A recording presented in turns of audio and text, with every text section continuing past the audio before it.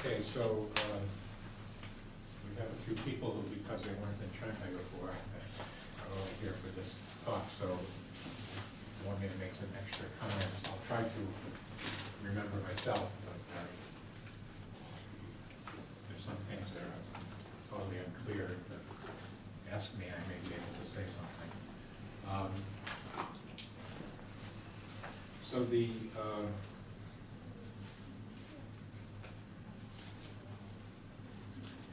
So there, there are certain classes of system mechanics models, uh, in particular, uh, models with ferromagnetic interactions and similar XY models where the variable is being plus one or minus one, take values on the unit circle, uh, where certain magnetization variables uh, uh, taken from, from such models, basically, uh, the Ising model just positive linear combinations of the Ising using spin variables in the XY model, positive linear combinations of the first coordinate of these circle variables um, uh, have, uh, have a property first proved through Ising models by Lee and Yang, um, extended to XY model.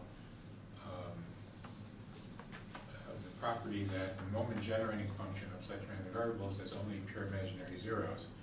And one of the standard formulations of the Riemann hypothesis is that there is a very specific, complicated looking, but very concrete uh, probability density on the real line such that the Riemann hypothesis is equivalent to the moment generating fun function for that distribution having this pure imaginary zeros property. And so the idea behind this series of lectures is whether it might be possible to construct that particular distribution as some kind of scaling limit of magnetization variables from XY or Ising models, possibly other system mechanics models where you have, where you know that you have this pure imaginary zeros property. Um, and mostly, uh, we've been just looking at some scaling limit distributions in much in fairly simple cases, uh, which are not likely or, or clearly don't give that particular one, but just to get some experience in uh, what scaling limit distributions might look like. And today we're going to go to, uh, we're going to talk about a more sophisticated model, which is more interesting from a system mechanics point of view, namely the two-dimensional XY model. I'm going to review what we said the last time about the one-dimensional XY model, which is not very interesting from a physics point of view, but is still get some experience in what scaling limits look like. And basically, we're going to talk about uh, uh, what might be the case in the two-dimensional XY model. There's some reasons for thinking that's a more likely candidate to find something related to the Riemann hypothesis, but of course that hasn't been done, and it's just a, just a wild guess. Okay, that's the background. So here's here's a, here's a reminder of what the one-dimensional nearest neighbor XY model is. Um, so you have the basic variables are uh, random vectors on the values on the unit circle, and often we'll look at the angular variable running between minus pi and pi and the joint distribution of these uh, random vectors, let's say, um, oh, let's say you have a finite number of them, and I've kind of organized things a little bit differently than the last time. The last time uh, we had we had discrete time steps, and then we scaled the time steps besides one over n. So I'm doing that sort of from the beginning, and I can think of the of the uh, these variables taking points in the integers uh, of uh, the integers times 1 over n. Uh, so a is a small, small number. Uh, and if, if you take finitely many of them, and then this really is the formula for the joint distribution. Um, so it's just uh, ex exponential of a positive constant, which is the inverse temperature, times the sum of the cosines of the angular differences. Um, but there, but because this is a, this is a, as we discussed last time, this is a stationary Markov chain, it's easy to see that you can naturally extend it to uh, J's in, doesn't have to be a finite number, you can put them in the entire, uh, entire uh, one-dimensional lattice of spacing A. Uh, That's, we'll talk about the two-dimensional version, or mention the two-dimensional version soon. Here, it's the elementary standard probability theory. Other cases, it's a infinite volume limit machinery of system mechanics. Um, So in either case, you have, uh, you have a nice stationary Markov chain, and uh, then in this case, uh, because it's one-dimensional, it's not so hard to actually work out what the scaling limit is. Uh, And, and uh, as we discussed, well, first for the Ising case, it's natural to take the scaling limit not just for a single magnetization variable, but for the whole process. And so now you have a, you have a process which takes values on the unit circle, or the angular value var- variables between minus pi and pi, uh, with this discrete index, and then in the limit, you'll get uh, similar circle value process, except the, the spatial variable is now becomes a continuous one-dimensional variable, which in the one-dimensional case is natural to think was at time, because that's what usually you do in elementary stochastic processes. And in this case, uh, uh, the angular variable is actually just a scaled standard Brownian motion wrapped around the circle. Because, know, what else could it be? I'm not sure that's a convincing argument for you, but, anyway, we, we, we didn't give a formal proof of that, but uh, we gave the uh, kind of heuristic determination, uh, the heuristic uh, argument for that, which is basically just boils down to the fact that the, the, the, Brown motion has a Gaussian distribution with an implicit formula, uh, and this, of course, doesn't because it has all these cosines.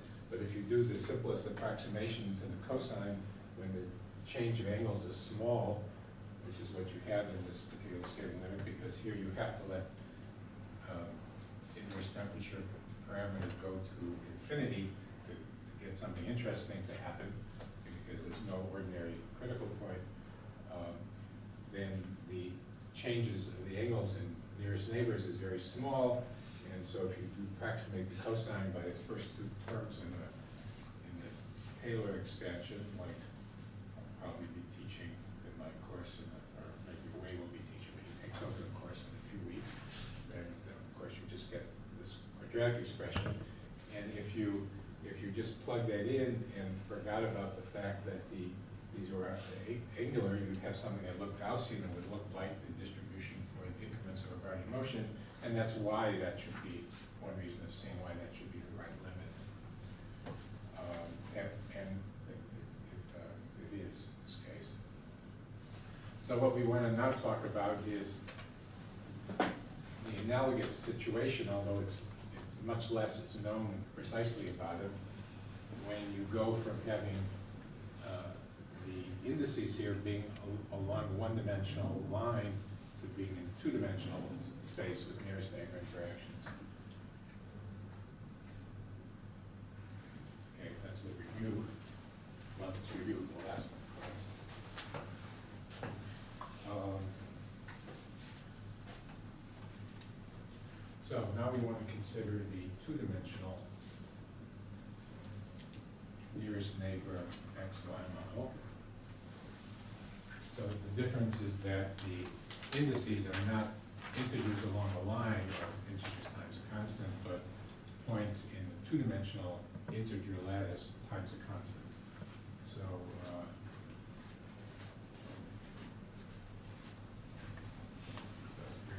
variables. So I'll make the index of the vector because it's actually a two-component point. We still have the small parameter, which is the lattice spacing. And we still write it in terms of angular variables, angular random variables.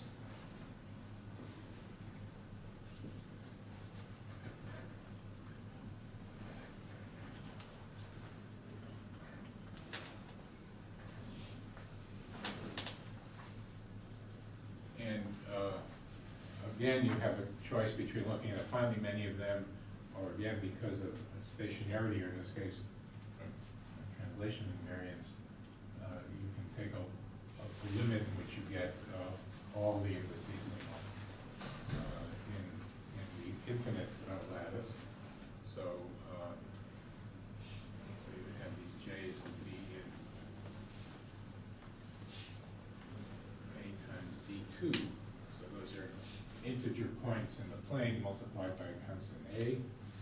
Uh, and maybe finally many of them, uh, if you want at the beginning, then you take a limit.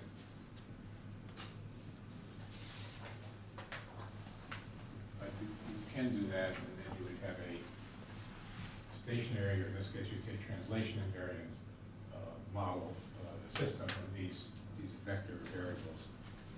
So these are two component vectors, or angular variables, and the indices are two component. And the joint distribution looks exactly the same, uh, except that uh, the, the set of nearest neighbors is the two-dimensional set of nearest neighbors, instead of just, instead of just the points which are next to each other in, on the line, points which are next to each other in the two-dimensional integer lattice. So so the joint distribution is constant, constant exponential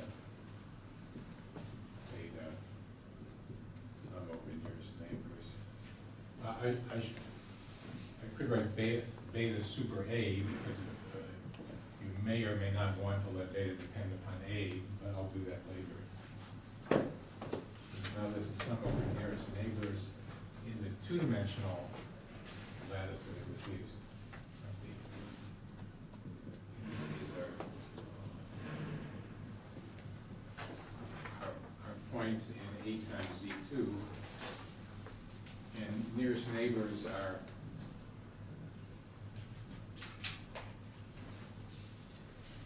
every site has four nearest neighbors instead of every two. Um, And otherwise, the the formula looks the same. These are supposed to be capital betas, these are supposed to be little betas. I don't know what's so different.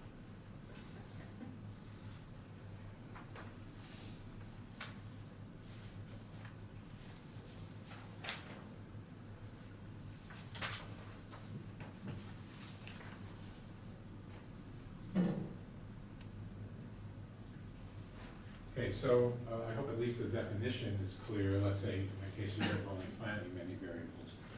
Here, this is the joint density, and, and this is a parameter. Okay, so, uh, so I wanted, the- the, uh, I wanted, well, I wanted to discuss the following things. First, uh, the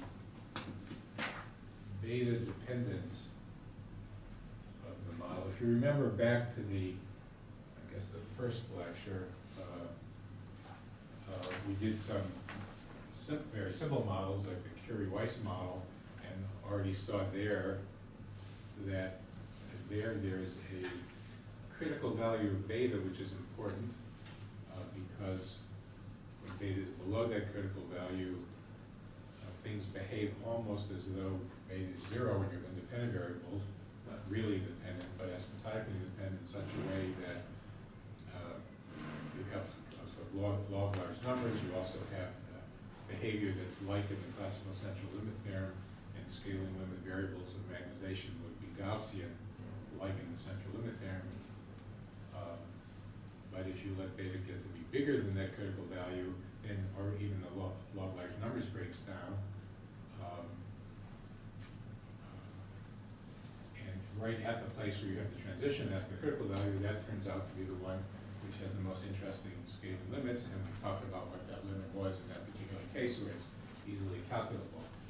But in the, in the one-dimensional nearest neighbor models that we looked at after that, those are kind of degenerate in that there is no finite critical value for beta, so to get an interesting limit, we gotta let beta approach infinity as we did the scaling limit. because beta equals infinity is sort of where the phase transition happens. In this case, the first thing I'm going to talk about is the fact that this is somewhat more like that Curie-Weiss model in which there is a critical value of beta, or at least there's supposed to be, some, some of it's proved. Uh, uh, And, and so that, that will, uh, that will change, I mean, will, we may or may not want to let beta go to infinity when we do scaling limits. So we're going to discuss the beta dependence of the model, uh, and a little bit about known or believed about its phase transition behavior. Uh, And then, uh, when you, if you, uh, the kind of, big focus will be uh, whether, whether there's something, uh, or whether there ought to be something which is somewhat analogous to what happened here, namely, if you think about the same, uh, the same kind of approximation, and I guess it's called in the physics literature the spin wave approximation. Uh, Anyway, why it's called that, you have to ask somebody else. Uh, I just half, half understand why. In any case, uh, but here, because of this approximation, then heuristically, you already uh, expected, and in this case, it's not so hard to prove, that in the scaling limit, you'll get something which is, looks like a Gaussian process, namely Brownian motion, but wrapped around, wrapped around the circle. So here, we'll ask that similar question. Should something like that be the case? Uh, But here, the the motion is replaced by something more complicated, which is a very interesting object um, in its own right, called the Gaussian free field.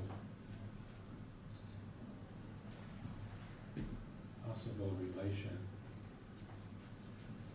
Via scaling limits. To,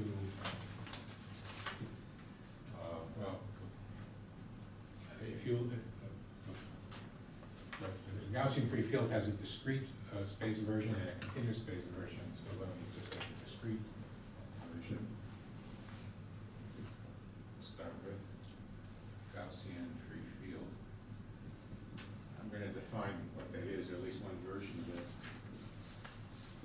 It's a very interesting uh, Gaussian process in its own right. In fact, I'll define it now, at least the version I want to consider.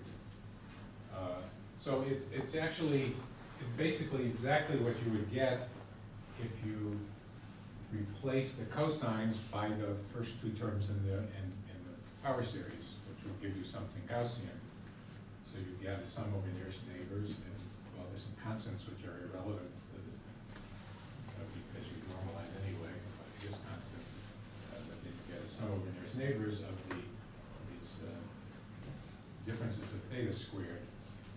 So that's, uh, that already suggests that uh, there ought to be some relation to the following discrete set of Gaussian variables, jointly normal, call them capital H. Also have the same parameter A. And at this stage, you should be thinking about this case, as there are finally many of them. Um, Because the, because the, uh, in the Gaussian system, those are real value, not taking values from the unit circle. So, uh, but the formula gotten by doing that quadratic approximation only involves the differences. So, uh, um, nothing prevents the sum of the variables from running off to plus or minus infinity, so to speak. So you need to do something uh, to, uh, you would have an integrable formula unless you did something, so we'll do some, there are lots of things you can do. I'll simply uh, force one of the variables to be identically zero, the one at the origin, say. I'll just force that to be a zero variable, it's like pinning down one of the, one of the variables to be zero, then the joint density of the other ones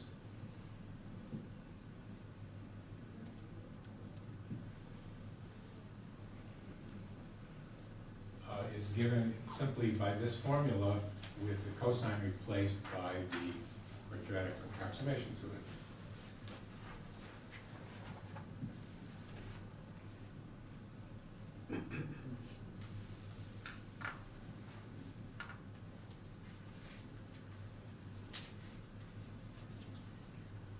So there's, so these, these are a- a little h's for the va- possible values. H, J, A, minus H, A, A.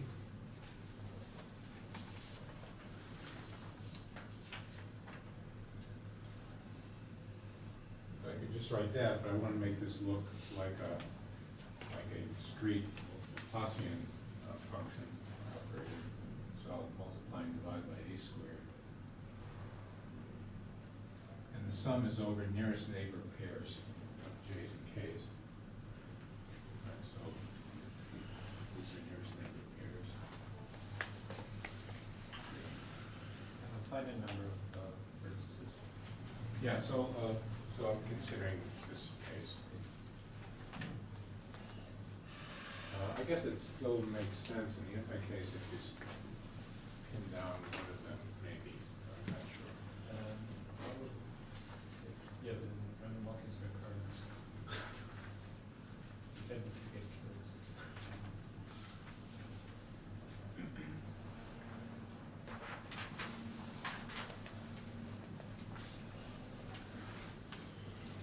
Okay, um,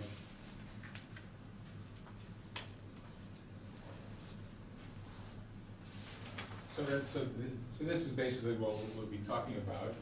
Uh, so I guess like, the- uh, I guess we'll try to have a break again, to eat some of the food. But, uh, but anyway, the, the first part will be about this stuff.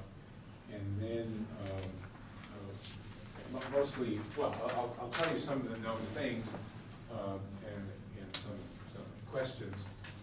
Uh, and then the second part, the extent that we have time, I'll, um, uh, I'll go back to the original motivation, which has to do with the pure imaginary zeros property, pure imaginary zero properties of these magnetization variables, and, uh, and talk about questions like whether, uh, whether uh, such a, such a property is valid for this Free field, and that doesn't seem to be known one way or the other, because the approximation doesn't preserve zeros property. Uh, But, but then we'll talk about, uh, there's a somewhat modified model, which in the, in the physics literature goes by the, in mathematical physics literature goes by the name of a, um, the model. Uh, That one turns out that does have the imaginary zeros property, and I'll try to explain why another time. Uh, Anyway, a lot, a lot of, uh, ex- except for, except for the next ten or fifteen minutes, a a lot of what we'll talk about is, uh, not all, but a lot of it will be just kind of questions, uh, or open problems. Okay. So the discrete model doesn't have the pure pure imaginary zeros property? Uh, I, I don't think it's known. And I. But, but you said it doesn't preserve, so you mean, No, I mean, you can't, the XY model has the pure zeros property, and we wrote down that fact once or twice before. one dimension? Well, any, and that's a result, that's a statement about XY models and arbitrary graphs and ferromagnetic interactions. Um, But to go from the XY model on this graph to here, we made this, you know, uncontrolled approximation, an expert of approximation. Uh, And, you know, replacing cosine of theta by, uh, by one minus theta squared over two is not something that is known to preserve the pure imaginary zeros property. So who knows? I mean, I don't know one way or the other. Okay, um, But I'll try, to, if we get to it, I'll try to convince you that a kind of modified thing called the Villain model does have the pure imaginary zeros property. Um,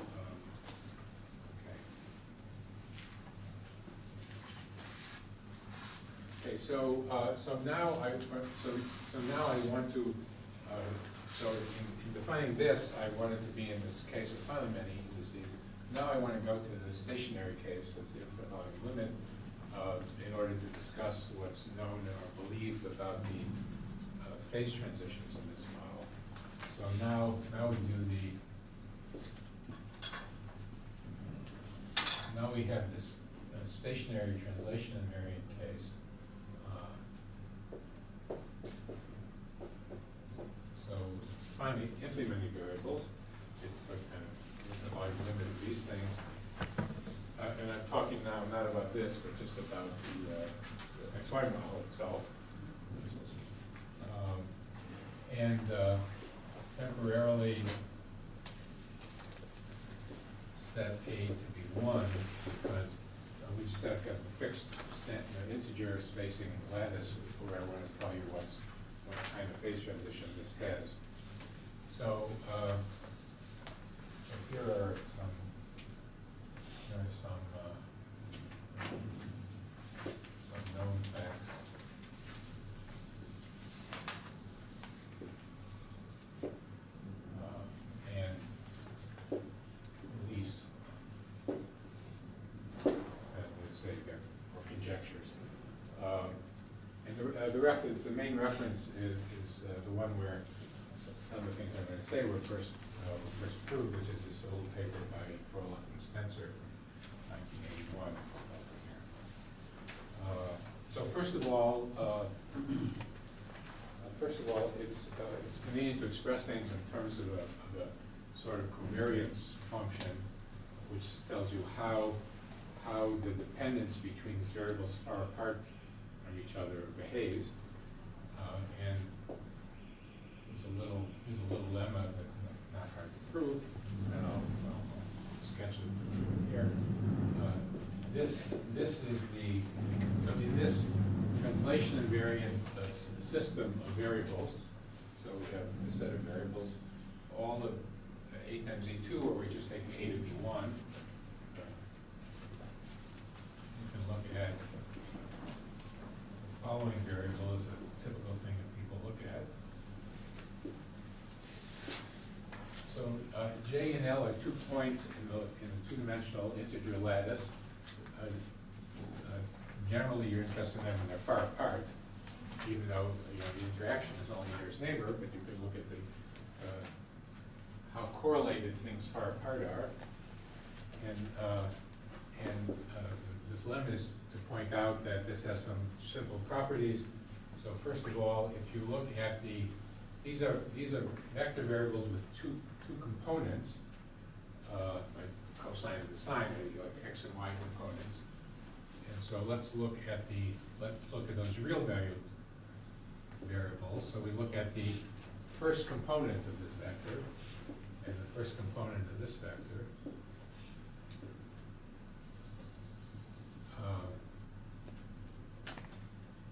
And it's sort of natural, there's nothing special about the first component. If you look at the second component, you have rotation invariance, so they would say this behave the same way. You could look at the covariance, just ordinary probabilistic covariance, the expectation of the product minus the product of the means. Um, And, uh, well, if you added to this the one with the y components, uh, you actually would get twice this. Um, So, so this is the state, well, uh, so there are very, various things uh, used in that, so I'll mention them in a second. Uh, This is also the same by a translation variance argument. You can translate both of these by the same amount. You can translate this one to zero. So this is the same as the covariance of S at the origin, component, S at uh, L minus J location. Okay, so, uh, so the, th- th- this is, this is an easy consequence of several, uh, sketch of the proof of several facts. uh, Use the invariance of the whole system of variables under simultaneous rotations. rotation of the vari, of of this spin variable. These variables are called spins for physics historical reasons. Uh, Spin rotations, that is if you, if you take all the, all these little two component vectors and rotate them all by the same orthogonal matrix simultaneously, one O for all the J's, that has, that doesn't, uh, that doesn't uh, change the joint distribution. Um, And then you also have, uh, I'm not sure, I'm not sure actually how many, I- I'm not sure if I, if I need the second one, but anyway, it's true that you also have uh, reflections, reflections of the spin reflections.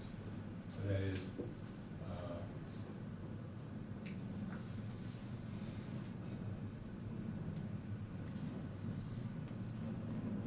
see, I guess, uh, minus the identity is an orthogonal matrix.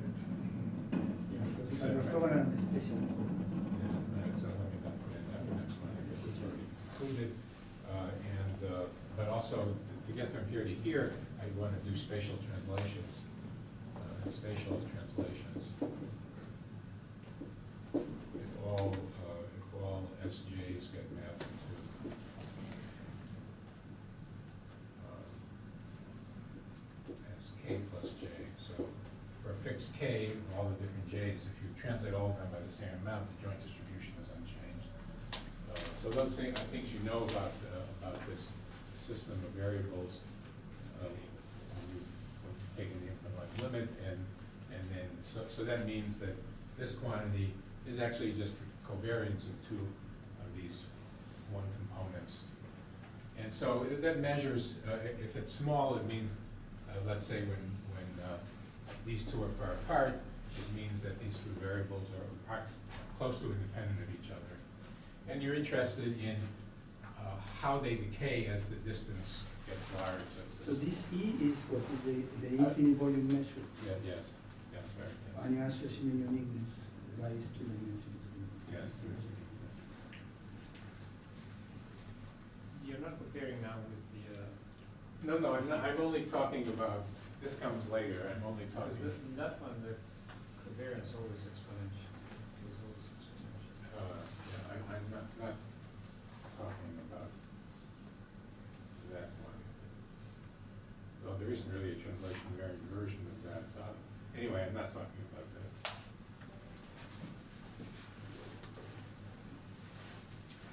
Okay, as it says in the notes, I will write that down. Uh, Oh, sorry, no, I- I'm not, not, not really that. Yeah, I was, so we, it- so, so now, so now, now, uh, now, uh, okay, so now, I, he, uh, in this formula, I didn't, uh, I didn't say anything about the beta, some value of beta. But uh, I didn't have the beta, now I want to put in the beta because I'm going to talk about how things change with beta. So now I put in the beta. Uh, Here are two facts. Uh,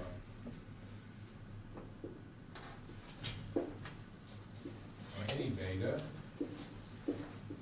uh, this quantity, which is equal to that quantity, uh,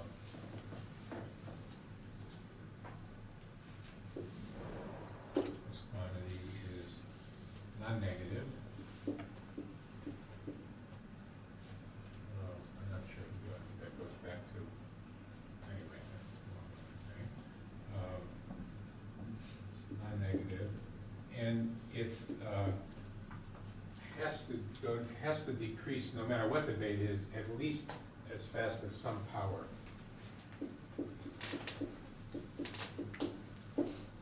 Pow- Some power of the distance. That's the Euclidean norm, eta of beta where eta is strictly positive. So that simply says, uh, you expect that as beta, as we'll see more in a moment, as beta gets large, that's low temperature, things decay more slowly, but no matter what the temperature is, it has to at least decay like some power, but the power is dependent on the beta. Okay. uh, Second fact is, well, we, we know how this behaves when beta is zero, that that's, beta zero, you don't this isn't there, you have independent variables, so in independent variables, the covariance is zero, so that decays, you know, fast. But, uh, but what you expect is that if beta is small, it, it won't be zero, but it should decay exponentially fast, and that's, that's another, another fact. That's high temperature, so beta, the same quantity is, is exponentially decaying in distance. E to the minus L minus J, distance divided by some C, uh, where C is, uh, strictly positive finite. So it de- it decays uh, at least exponentially fast, so that this, that this is a bad bound when beta is small because it's exponentially decreasing.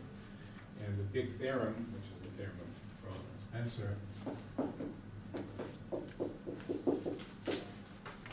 uh, is that it stops being true for large beta and actually this upper bound, something like that becomes a lower bound. So that's for large beta. Uh, This same quantity. uh, this is The same quantity uh, is uh, greater than or equal to some constant beta over, it's a law lower bound.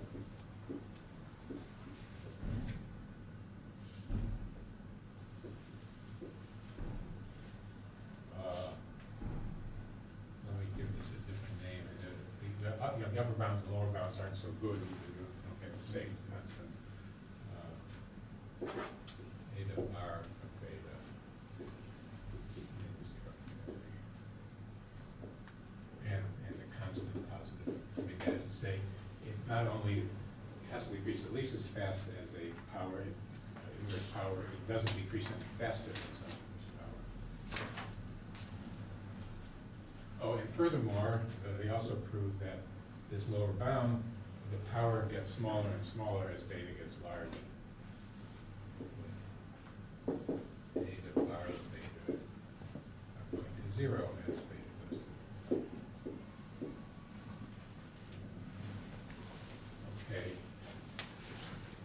So, so the- the- the- these are all theorems, um, and, uh, well, you know, one can find in that Phillips Spencer reference, where, where, where these were first taught.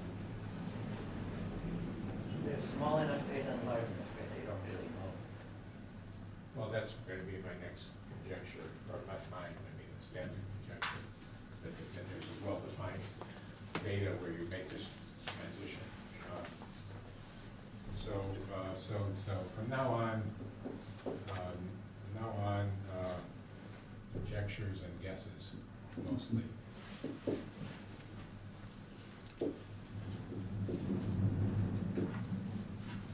Uh, uh, Now I mean it, just talk. Uh, So, uh, the the Kosterlitz, Thouless, so, the- so the, the- the- these were made in the physics literature first, uh, and first by the physicists Kosterlitz and. Uh,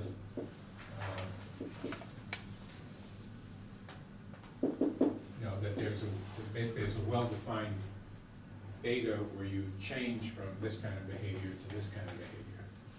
Uh, So there should be, should, should be a beta at for Kosterlitz Thouless, k between zero infinity, such that uh,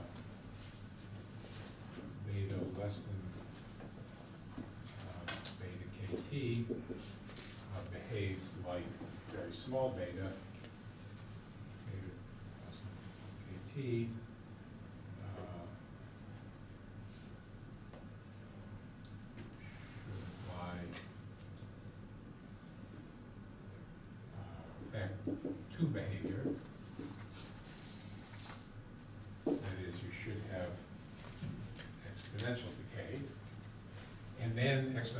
should stop and you should convert to power law behave, behavior. Uh, beta greater than beta kt, and probably at beta kt also uh, should apply. Uh, uh, this kind of behavior, not, not just a larger beta, but I mean, that, you know, there's a well-defined thing where you make the transition from one to the other. Uh, Rolla, Spencer, their behavior.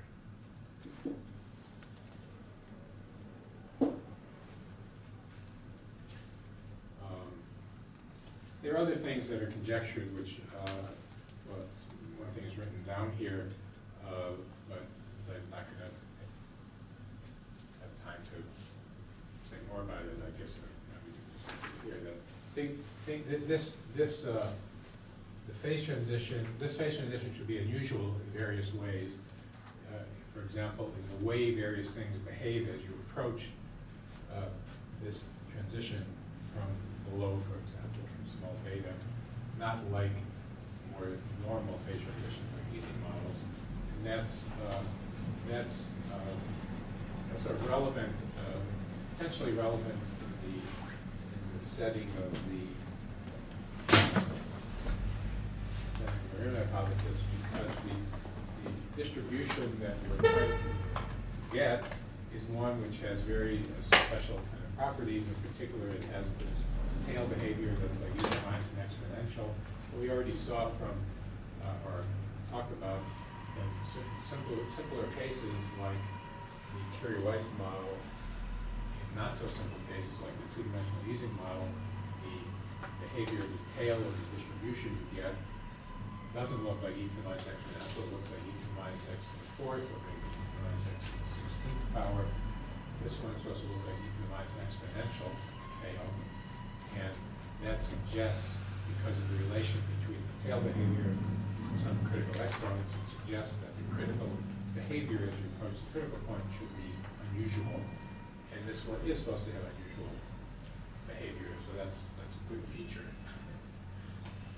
But, uh,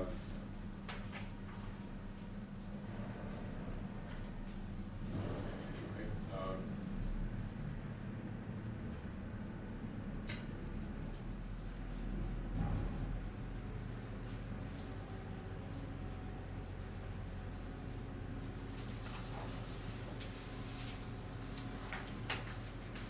So, uh, so I want to talk about well, so, so we're used, uh, we're used from, uh, uh,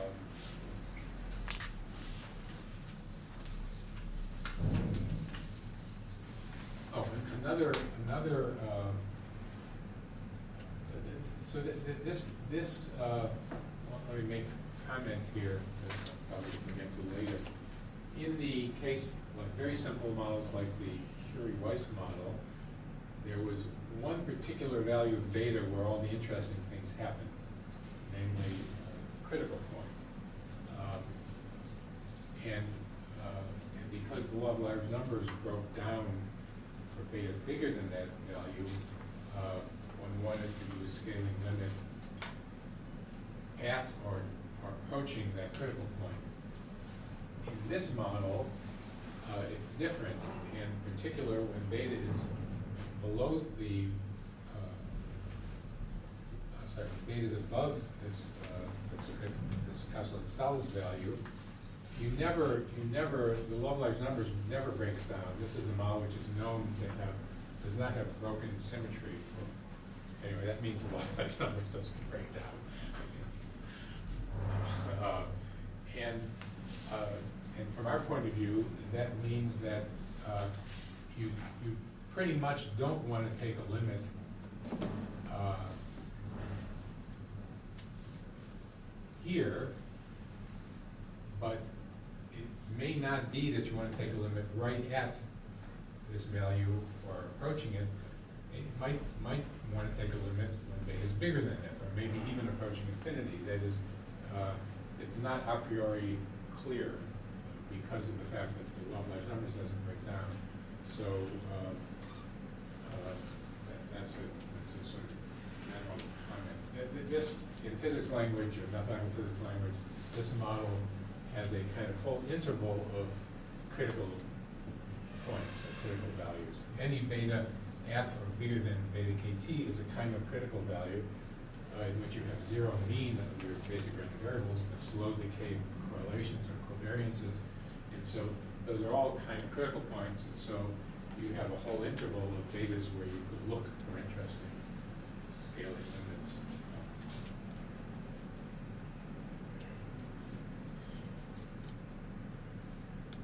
Okay, but, uh, but now we want to sort of discuss, um, or ask questions having to do with whether, whether if, if you're, uh, uh, whether if you're in that region of interesting choices of beta, whether scaling limits for this model might be somehow analogous to what uh, kind of thing that happened in the nearest neighbor model when beta went to infinity in the right way, which was that you got a uh, Gaussian process, namely Brownian motion, wrapped around the circle. So here the natural guess would be, you know, maybe you get something related to the Gaussian field wrapped around the circle. So I'm just going to ask that question in various ways. Actually, lots of different ways, you said. Um, so, uh,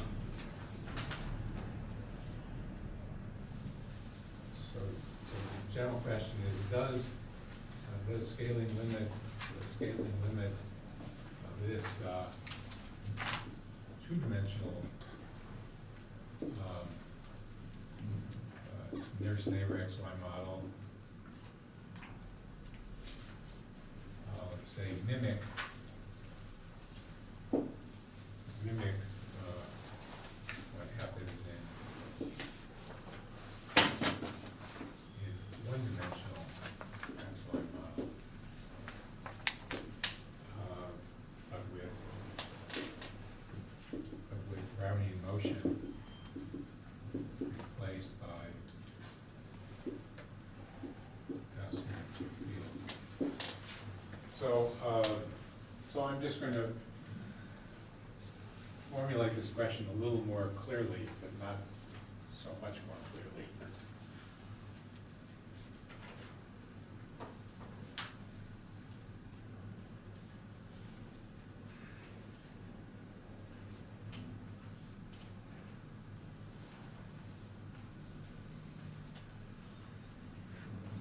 So I'm asking myself and sometimes uh, for recent years, so uh, Wei Wu, same questions, lots of times he uh, corrects some conjecture, and it may be that I've forgotten some of his corrections, so he may need to correct it again.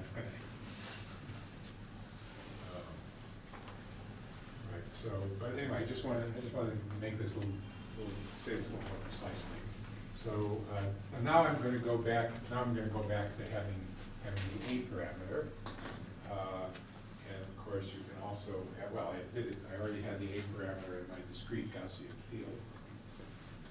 But, but all of these is, uh, there's no reason to believe that it has relevance to Riemann hypothesis. Oh, that's certainly true. Because So the there- there- PIC, but you yeah, so know there- anything there are two, there are two, uh, there are two different sorts of questions, uh, and, uh, and not completely disjoint, but very different.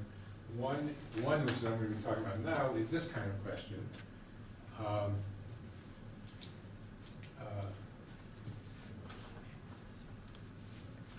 depending on the answer to this question, let's say you had a sort of positive answer, then because you have uh, pure imaginary zeros results uh, theorems for the xy models, if, if, uh, if you had a limit which was expressed in terms of the Gaussian free field, then you would have pure imaginary zeros properties for that. And then, then you'd be in a position where you could say, ah, now let's work with the Gaussian free field or the continuum version of the Gaussian free field.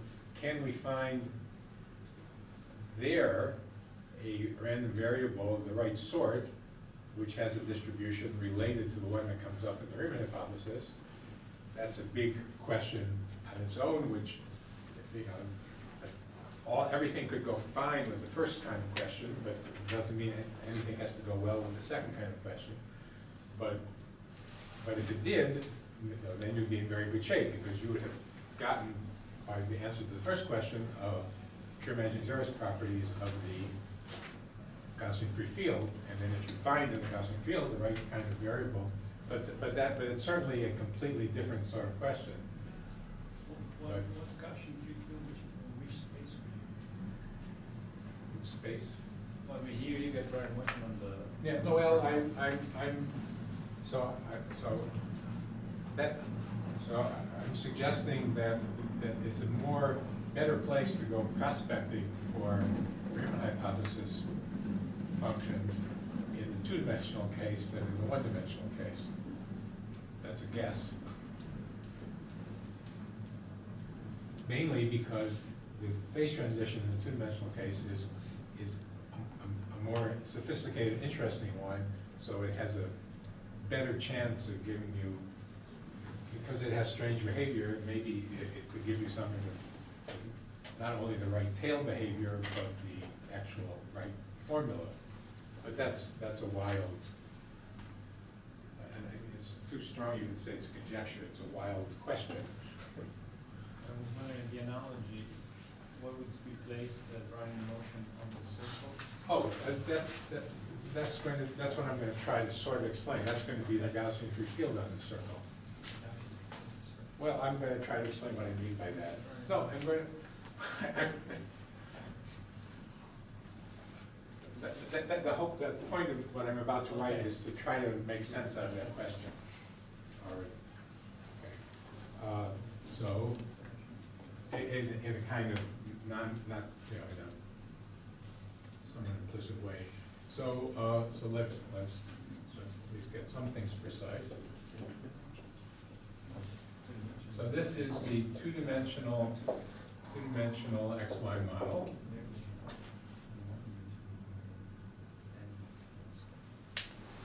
And now I'm going to take, so, so that's, that's a discrete lattice. I'm now going to take this discrete Gaussian free field, and um, this one I can wrap around the circle, because there are only finitely many variables, which I'm not going to do.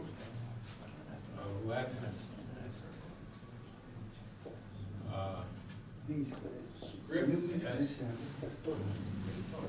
When you mean circle, you mean torus. Circle is the same as torus. what? You're talking about the torus. Well, I, I, you know, I, I'm gonna, I'm gonna, I'm not gonna do the torus, but you could do the torus, that's perfectly fine.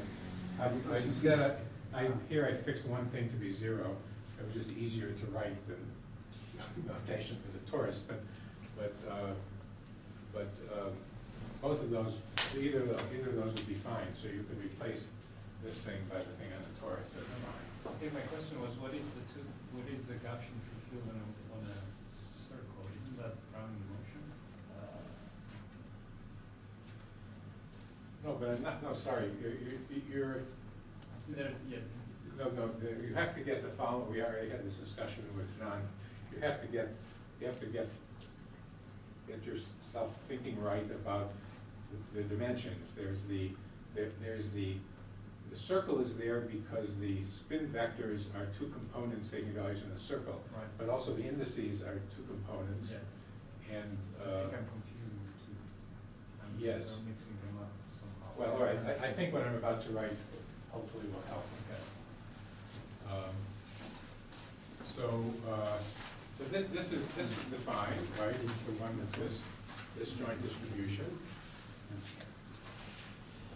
Uh, This is defined, these are, re- these are real, real variable, real valued variables indexed by points on the two-dimensional discrete lattice, or torus, or. Uh, now I'm going to define this. I'm, I'm, I'm now going to wrap, wrap these variables around the circle in the complex plane. Ah, Uh,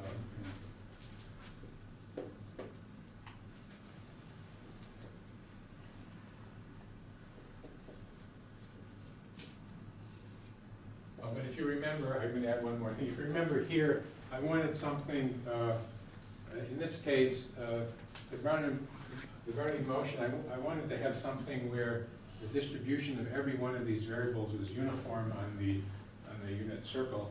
So that's why I added, uh, uh, this, this thing was simply uniform on the unit circle. That's, that's where this came from. So I'm gonna, I'm gonna do that same thing here. I wouldn't have to do that if I were working on a torus, I guess. Uh,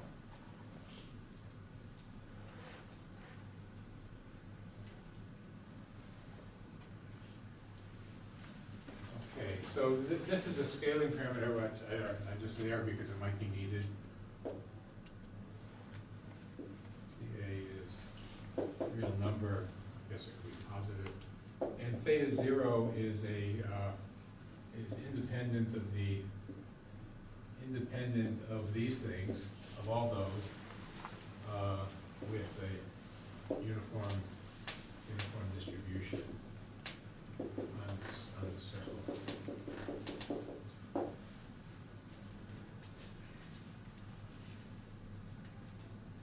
So, so, so these variables, now, well, they're in the complex plane, I'm gonna take the real and imaginary parts. Uh, So these are some version of taking the discrete Gaussian free field and wrapping it around the circle.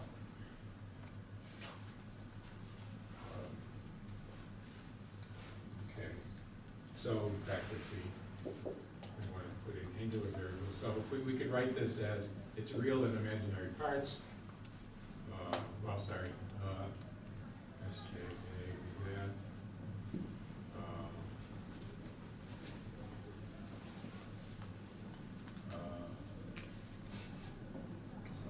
So, so real, real part, real part of SJ, imaginary part of SJ. Gonna write that as, uh, that's cosine of CA HJA plus theta zero sine.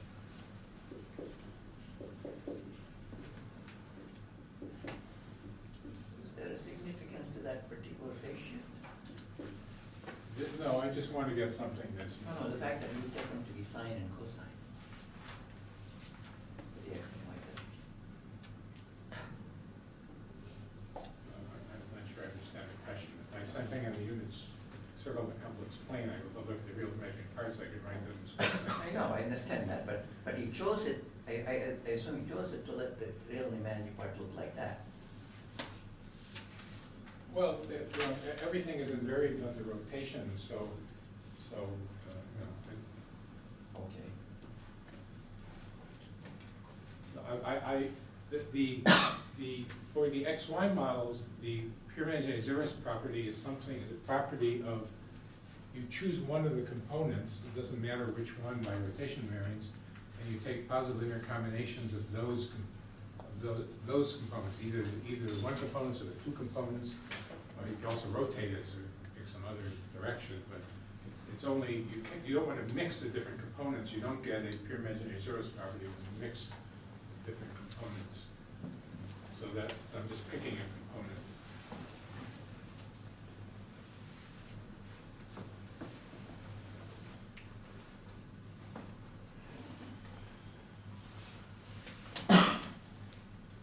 Uh, So actually, so I'm, um, oh, I see my notation. So, okay, so this, this, this is a complex value thing. I now have a, a real vector value thing. I'm just looking at it as a two-component vector. Uh, So, so thi- this, you know, this is the, this is the thing that I'm supposed to be comparing to this. This was two-component real vectors, this is two-component real vectors. Right, So the, the, the complex notation was just to,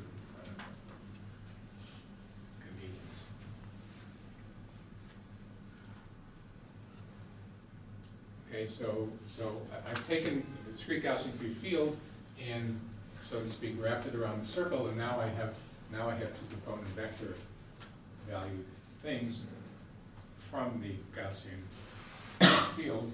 And so the question, questions, question.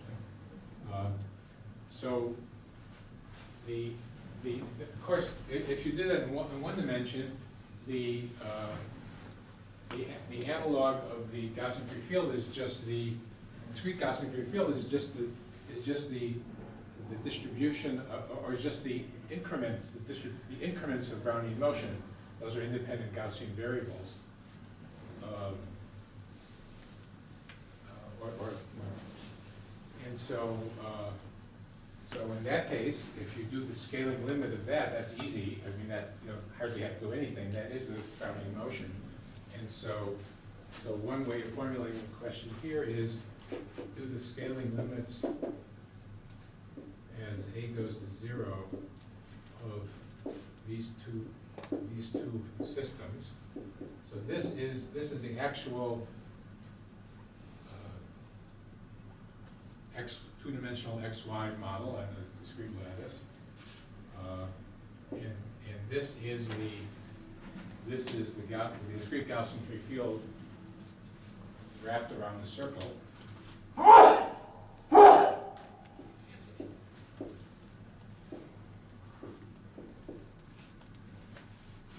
Uh, Both exist. Let me give a space here. Uh, And two, two dimensions, things are more singular. I'll, I'll get back to that in a moment. Uh, Well, let me put it here. So, uh, or, or, or you already know for the Gaussian free field, never mind if you didn't, you didn't wrap it around anything, the Gaussian free field is perfectly nicely defined thing when you have a finite lattice, as long as you either make it periodic bounding conditions or fix something. But when you go to the continuum, the limit is, is, it's more like white noise than Brownian motion. It's a, it's a generalized uh, field, but it's a rather singular object. So, uh, so these would be vector valued, vector valued, uh, generalized random fields uh, on two-dimensional continuous space. You, you have to allow it to be sufficiently singular because you already know that for the, for the Gaussian field by itself, so it also should be true for the XY model. Um, And then, uh, and then, and then, then the, then the question of whether something like this is true can be reformulated here as whether the, the two scaling limits are actually the same. So, uh, so for beta greater than beta kt, or maybe beta also equal to beta kt, or maybe beta going to infinity. You can do all kinds of versions of the question. Um, uh, Is there a choice? Choice of uh, uh, C sub A equals C sub A of beta, so that the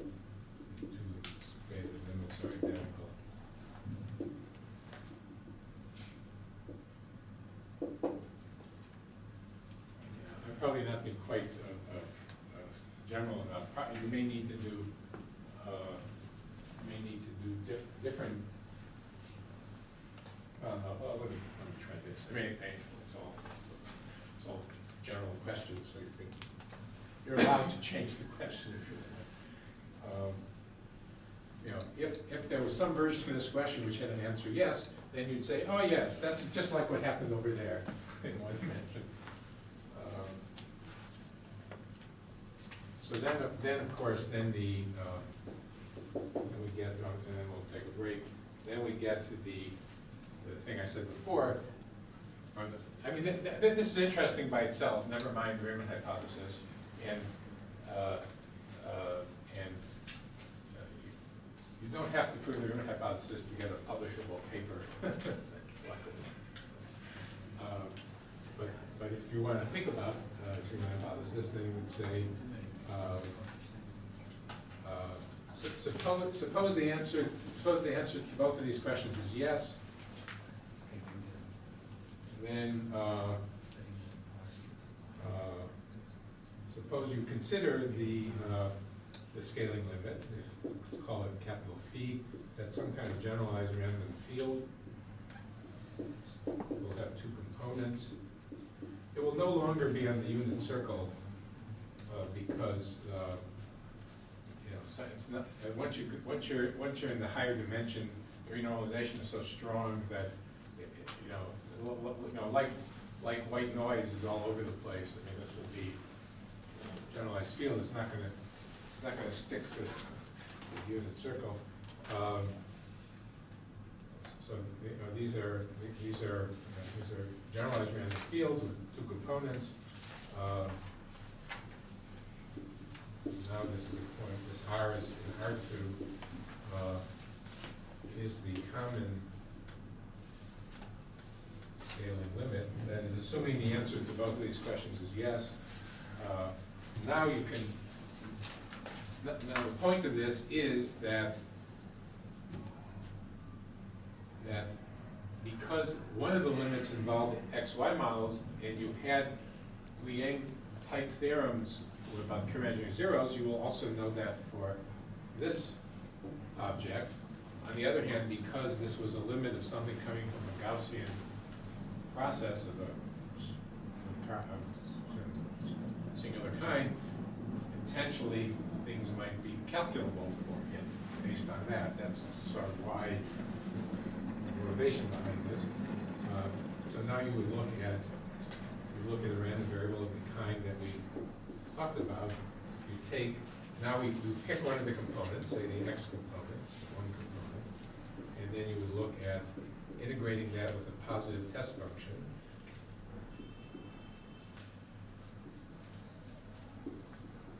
It's a generalized field, means you're, if you get a random variable when you integrate it with a decent test function, uh, call that W. uh, have the gradient equal to zero because that's what you need for the pure imaginary zeros property. uh, uh, Have a density, density related to, to the specific weird formula that we started with some weeks ago.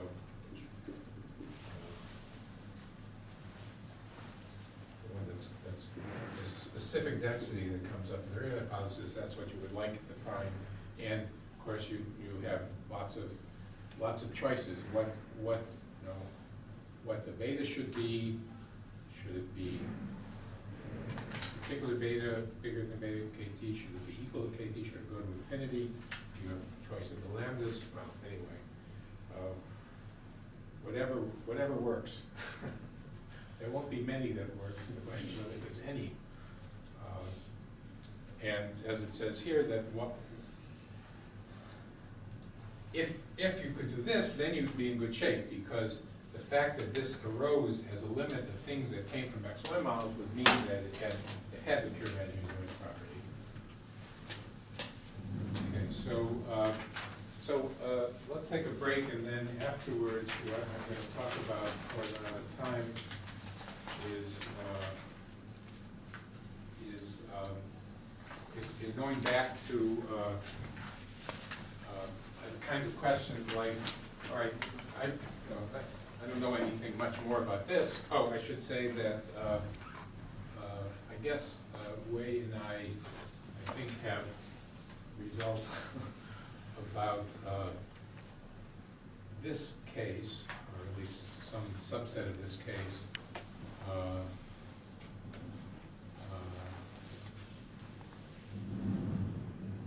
saying that the- that in that case, some, something like the limits are identical in that case. Or something related to that at least.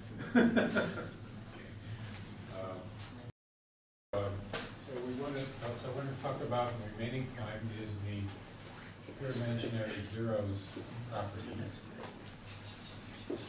for uh,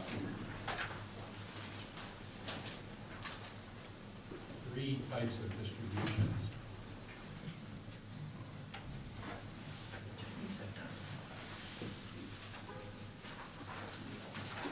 For uh, uh, two-component vector valued And now, I'm- I'm definitely looking at uh, finitely many of them, uh, vector value variables, uh, with each, each one of them uh, written as cosine theta j, uh, sine theta j.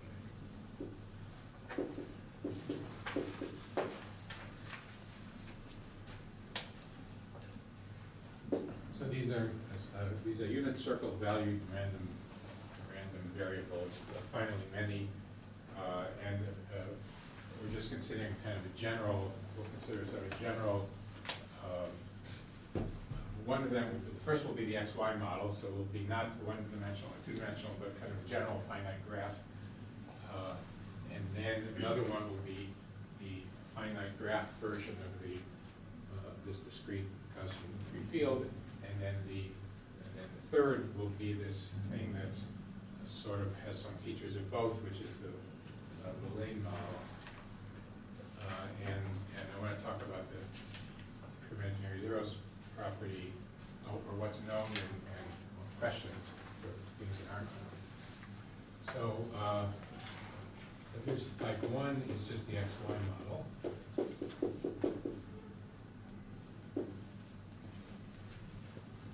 So, uh, so if I use the theta variables, the joint distribution on uh, minus pi pi m plus one, there are m plus one variables, is the following. I'm going to write it the following way. So it's, uh, um, well, it, it, you know, it, it's this sort of thing, except I have a general finite graph. So it looks like the following. Constant, uh, I'm going to write it, I'm going to write it the following way. There's one factor for each uh, pair of variables, essentially.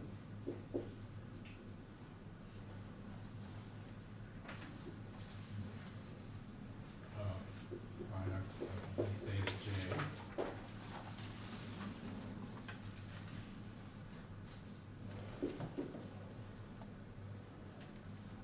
Uh, Let me call this formula star.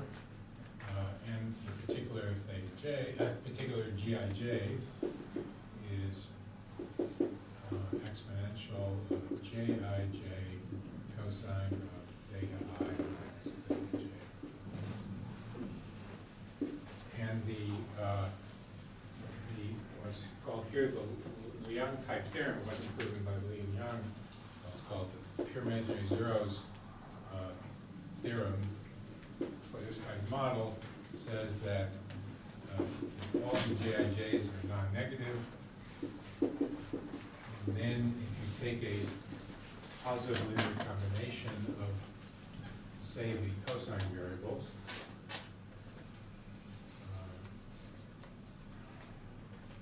if lambda j is greater than equal to zero for all j, then W identical to summation of lambda j cosine of theta j.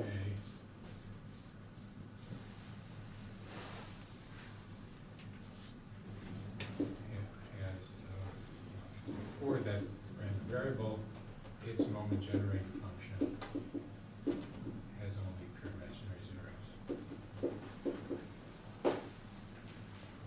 So that, that was the theory that we stated maybe one or two lectures ago. I mean, it's a, it's a, it was, uh, it- it's the analog for XY models uh, of the original theorem of Lee and Yang for Ising models. Uh, And it was actually proven first by Francois Dunlop and myself, but the the better proof was the one done by Lieb and Sokal. Slightly, sort of higher. Um, Okay. So, uh, the second type is, uh, is the discrete, discrete Gaussian free field, uh, except for a general graph wrapped around the unit circle.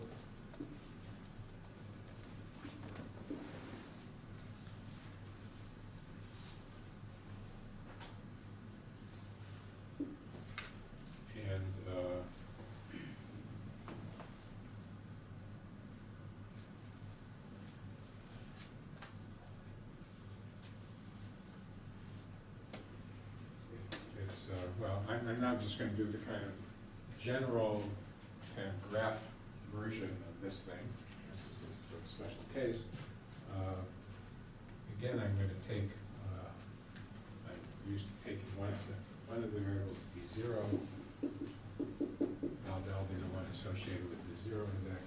Can I ask you a question? In, Yeah. in your first theorem, when you prove the top one, do you have an estimation of the distance to the, of the zeros to the real axis? Not, not, not in that, not in that theorem. I mean, that would depend on the particular graph, the particular model. So your method doesn't include that? I'm just curious. No, that's a hard physical quantity. Um, um, And then the joint density of the other ones.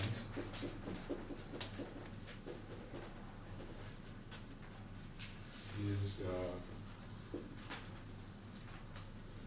product uh, over I, J, E to the, so I'm just gonna put a kind of general Gaussian, uh, Gaussian, uh, Gaussian formula.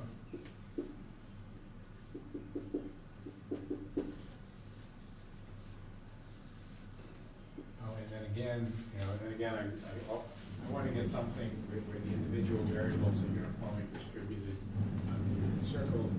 So I can do that by just kind of taking one variable independent of all the other things on uniform, on the unit circle, and kind of adding that to everything else. Um,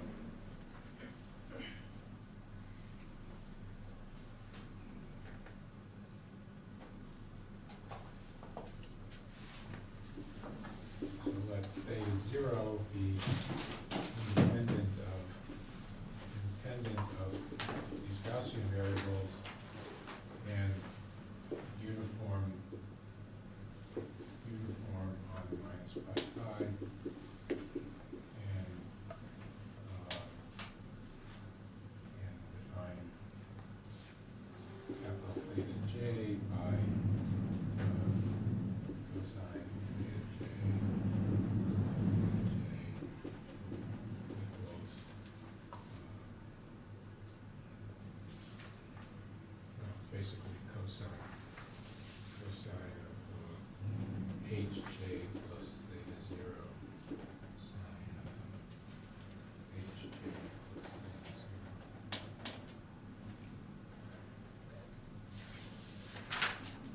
It's written a little differently here, but I guess it's the same thing. Um, Okay, so, so this is, this is, this is, you know, this is a, this is a general version of, of, of where I have now, uh, this only had non-zero BIJs for, uh, nearest neighbor points in a certain specific graph. Uh, This is a more general thing. Um,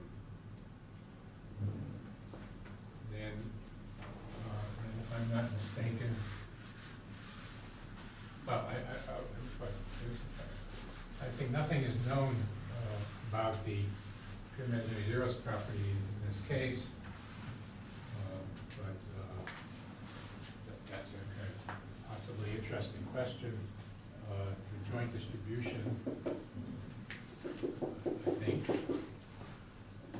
so this is an exercise, so you can check, let me know if I'm wrong.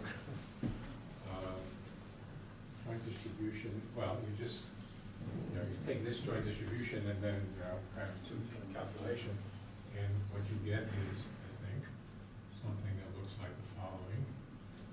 Well, you just start, this is, this is a, one possible way of wrapping the variables around a circle.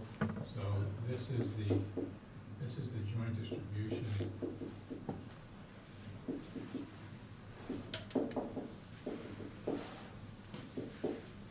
But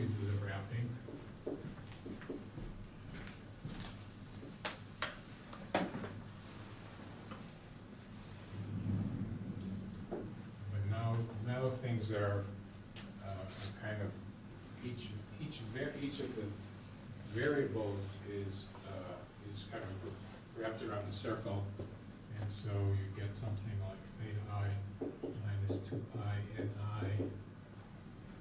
That's how many times you wrap around, and this is theta j minus pi n j.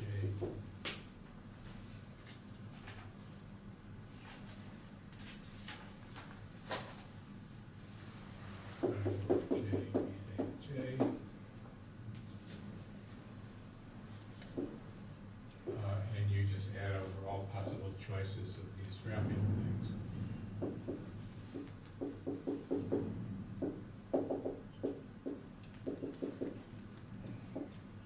Something like this. uh, There's no sum over n zero.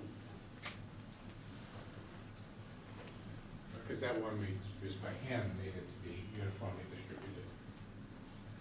So you take this, uh, you basically take the Gaussian distribution uh, for each of the variables on the vertices of the graph, uh, and uh, and then wrap that around the circle.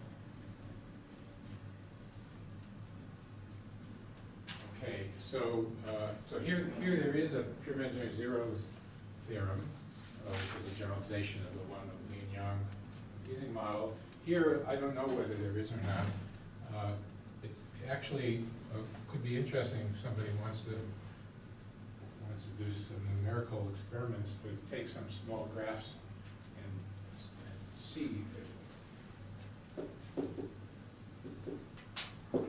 see whether or not you have one. I'll mention later, if I run out of time, what the first graph to look at is. Is there a a pure imaginary zeros property uh, for summation lambda j cosine theta j in this case, know, with non-negative lambdas, like there is for the xy type model. This is not an xy type model. It's a different way of getting a a joint distribution on a product of circles. Um,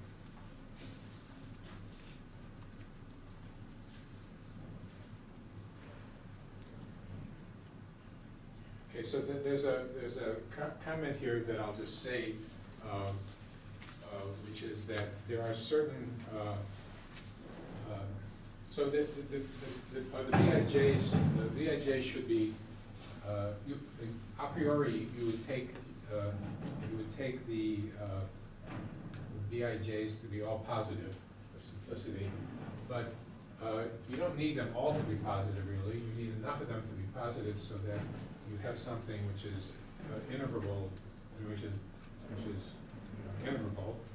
You make too many of them to be zero, then you, you would have, it wouldn't be enough to set a zero to be zero. For example, if, so many of them were zero, that the graph in which you put in edges only when you had a non-zero b was disconnected, let's say into two pieces, then there'd be another theta you would have to fix in order that this thing becomes integrable.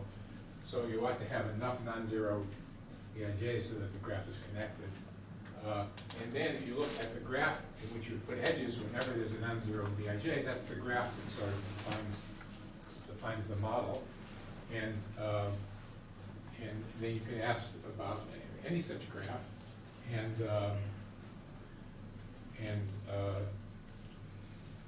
there are some very special cases in which it's easy to see that this reduces to some simpler situation, like if you, if the graph of non-zero BIJs is a tree graph, that one you can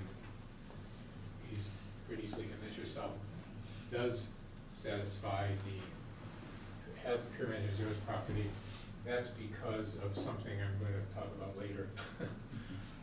Um, Um, So the answer might depend, answer might depend on nature of the graph with edges, uh, edges only when a particular Bij is strictly positive. So it would be the graph with m plus one vertices, and you put edges for those Bij's which are strictly positive, uh, rather than ones that are zero. Uh,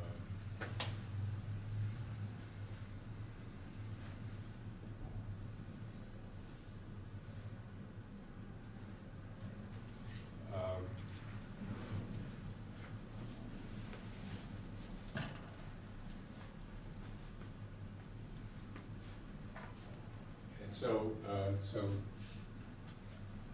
the comment here which says that if, the- if the, if this graph is a tree graph, then you will have the pure imaginary zeros property. That will follow from uh, a claim about the next type of graph, which is this, uh, next type of model, which is this Villain model. Okay, so that's the third type of model. So this one, uh, uh, so this one one doesn't know uh, very much except in sort of degenerate cases. So type three. uh, Type three is, so thi- this formula is, it doesn't look like this formula. Um, But type three, uh, n- never mind the the form, not the, the value of GIJ, but just the structure. Type three does have the structure, but a different formula for the GIJ. And this is actually, I I believe, what's called the Villain model. Um, So, so we have star is, this, this structure is, is is valid, but. This is a model due to be line or is a very be line model? The model is due to be be line or, Yes. or is an adjective? of line? Oh, no, it's- it's- it's due to the way. Uh, Star is valid, but with a different, but with a different GIJ than in the, uh, than in the uh, XY model, which is the following. Uh, So GIJ is, well, uh, let me leave this out. Uh, It's e to the minus bij over two. So, uh, bij over two, theta i minus theta j, space. So the bij's are uh, positive, but again, you can make some of them, some of them zero as long as uh, you solve a connected graph.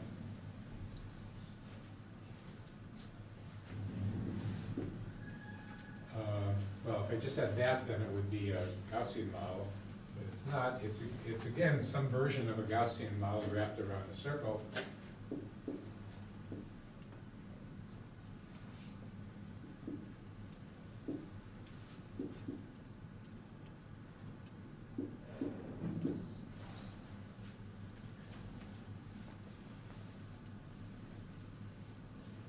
Okay, so thi- this, uh, this of course, this isn't, this isn't that, so it's different than the XY model. Uh, This looks, this looks suspiciously similar to this, but it isn't. I mean, it's similar, but it isn't the same. And uh, one way of seeing that is, uh, this n is a dummy, dummy index, and summing over all integers. Uh, Let me call it nij for this particular dummy index. Then you have a product over all edges. Uh, and each one of them has a, something which involves wrapping around a circle. Uh,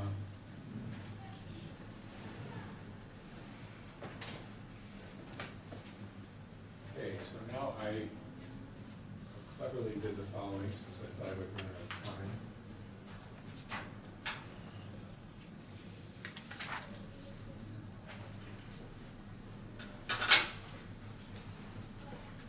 Um, So the first note is why these things are not the same as each other. So they, they look, you know, they look very similar. This, this, they both involve products over i, i's and j's, or i less than j, of something that looks, that is like, a- has a Gaussian formula, but with summing over integers. Uh, The, the real difference is that here, the integers that you sum over are associated with the vertices of the graph, and here they're associated with the edges of the graph.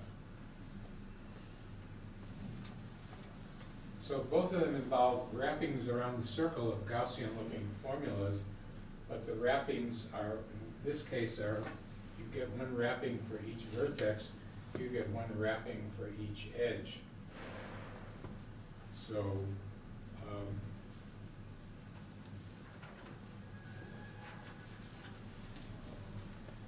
if, if you have a tree graph, there's not much difference between the edges and the vertices.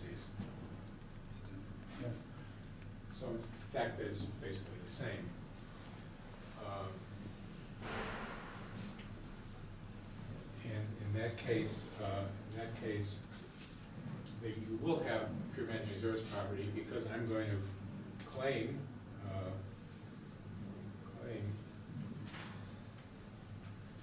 maybe right now, that, uh, well, that's, that's sort of I'm gonna claim that you do have, you do have a pure zeros property for this type of model, and for a tree graph, this, the, the type two and the type three are basically the same, so you would have it for that one also, case.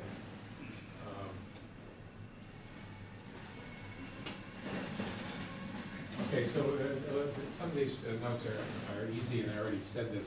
So in this, in this type, and I guess also in this type, uh, uh, you can, some of these, uh, some of these can be replaced by, by just function one, as long as you have enough of these things there, uh, so that you have a connected graph. That's what this says. Uh,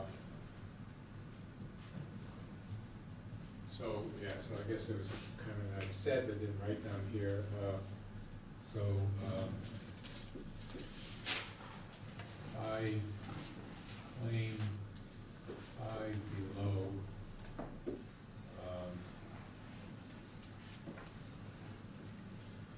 um,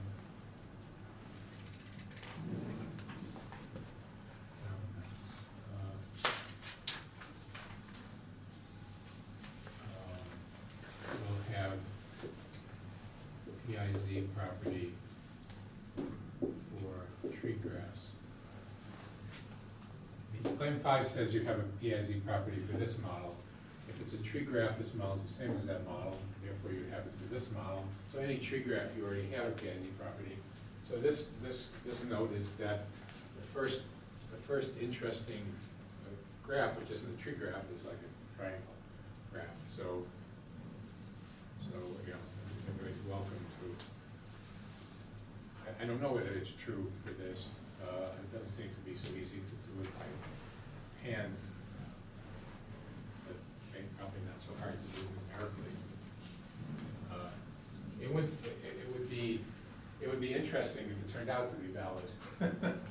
Turned out not to be valid, well, that'd be interesting, but, but we can't write a paper about it. Uh, Okay. uh,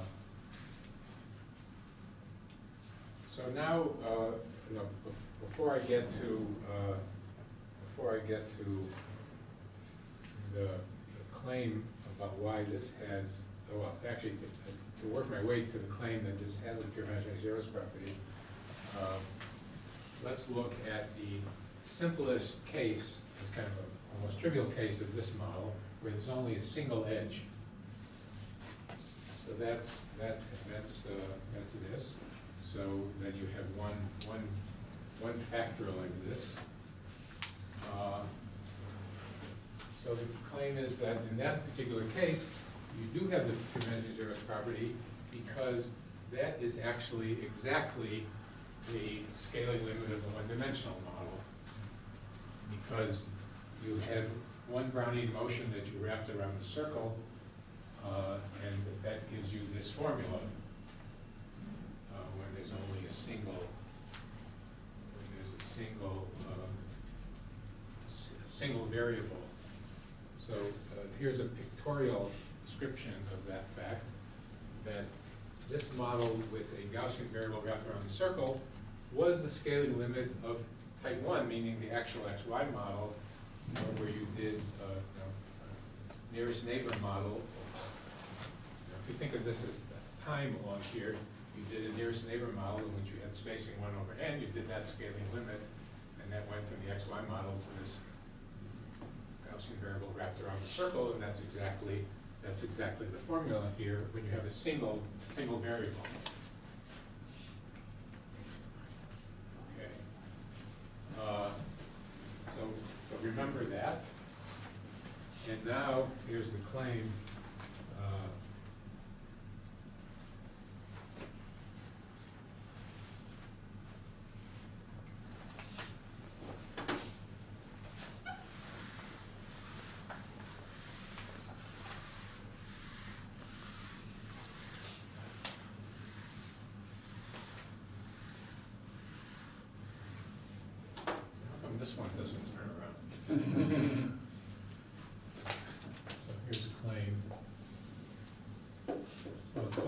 Five.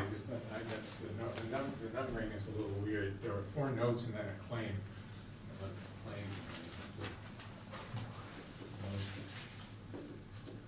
Number five is that a PIZ property, property uh, valid for a type 3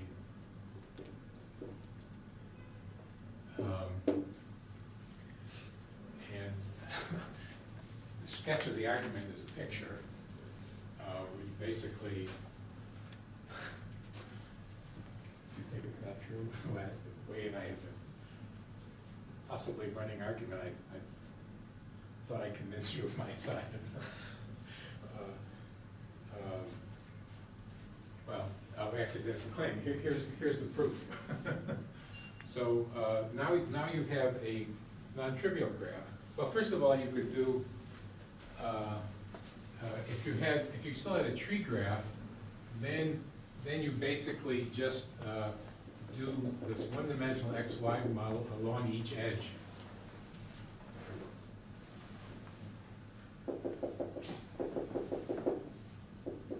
Uh, And, and what you'll get will be, will be, the, the, uh, will be this formula.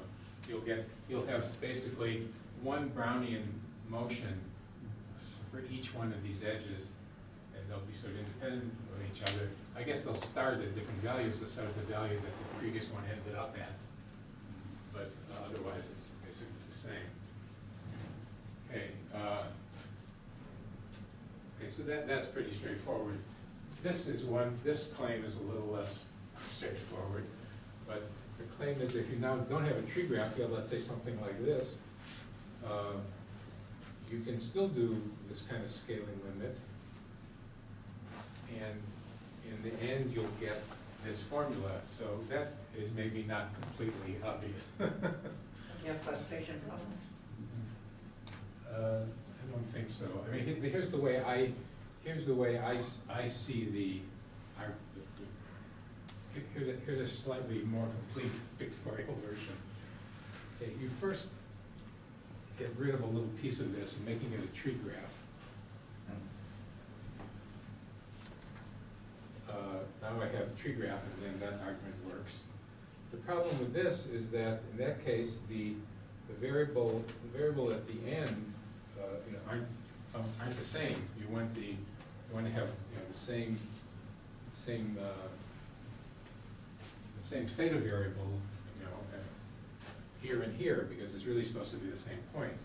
Well, but back in the, back in the original, in the original lattice model, which, you know, had, which had these things, you can, without destroying the Lee-Yang property, you can put in a very strong positive J, Jij between these two vertices, which in the limit, when that goes to infinity, forces these to be the same theta value.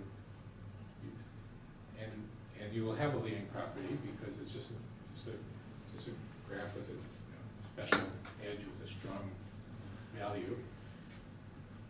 But then you have to convince yourself that the joint distribution of this, this, this, and this, and that limit simply takes the formula you have for the tree and basically forces these two theta variables to equal each other, which I claim is the case.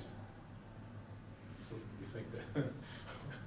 So do you claim that you have a conditional version of the new, uh, the, uh, Well, it's Yeah. not, not exactly. I I don't think you need that.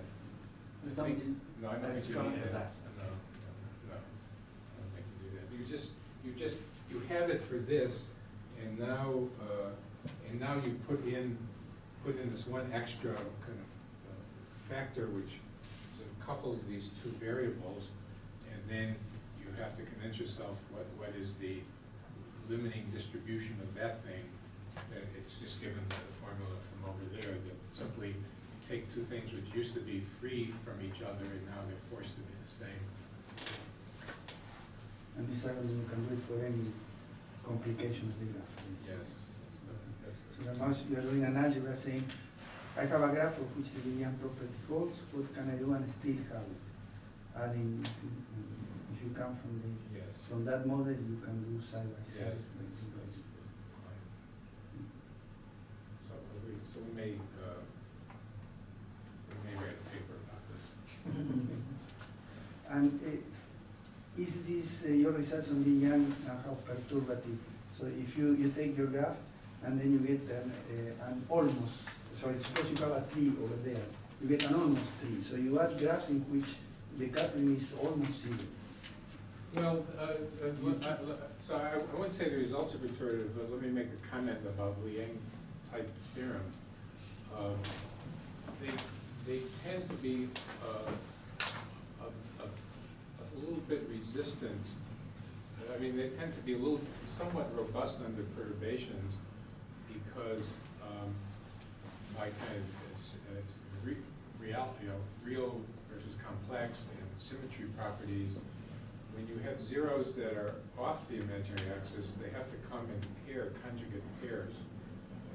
And so in particular, you can't have something moving off the imaginary axis unless there's a double, unless you first have a double zero on the imaginary axis, and then it can separate.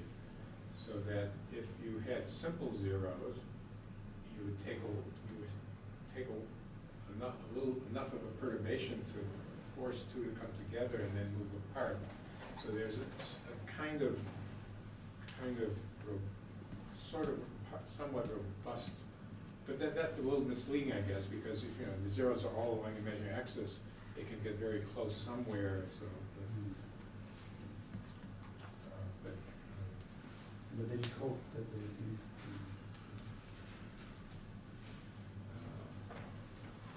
So, um, guess that's, uh, all I wanted to say today. Thank you very much.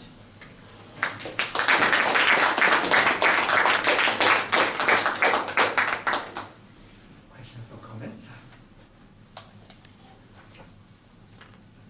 So what's, what's next? What do you, you would like to see proven in order? Besides the big hypothesis. Well, I, I, actually, I'm curious about whether, uh, whether or not, uh, these type two Gaussian things, this way of wrapping things around, wh- wh- whether or not that has the tremendous property. I- There's no particularly good reason for believing it does have it, but, uh, I just don't, just don't. I mean, if it doesn't, then, know, probably already fails with this, with this graph. Yes.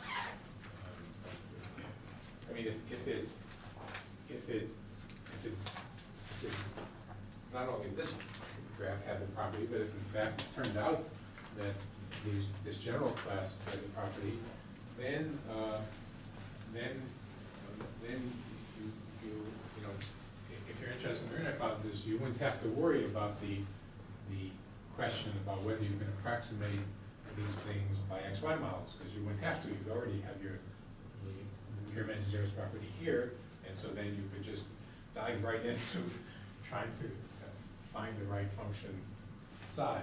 So, so it would- it would certainly be, uh, uh, it would be quite interesting if one got a pure imaginary zeros Lee-Yang type property for these, uh, these kinds of distributions. But uh, there isn't any really great reason for believing it should be true, but uh, I just don't know.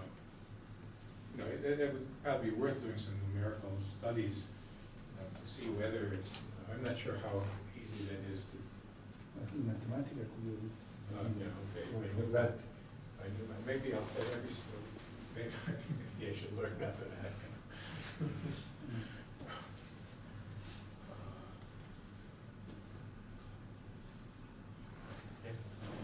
Uh, I have a question about the KT trans, uh, KT phase transition. So physically, what would be the change now with the spin behaviors at the transition? What would be which behavior? What would be the change in those spin behaviors? Oh, spin behavior. Uh, Well, the, uh, uh, well, I mean, the the way, the way I defined it here was that as you vary the beta or the temperature, uh, you would go from having exponential decay of correlations to having power law decay. So that, that- that's sort of the defining property of it. If what you mean is how, how things would behave right at the, at that transition point, I'm not even sure. Uh, I- have, so, I think, in physics you would find claims about that. I have a vague recollection that at the critical point, it is supposed to behave like a power, or some particular value of the power. But I can't, I don't remember if that's exactly right.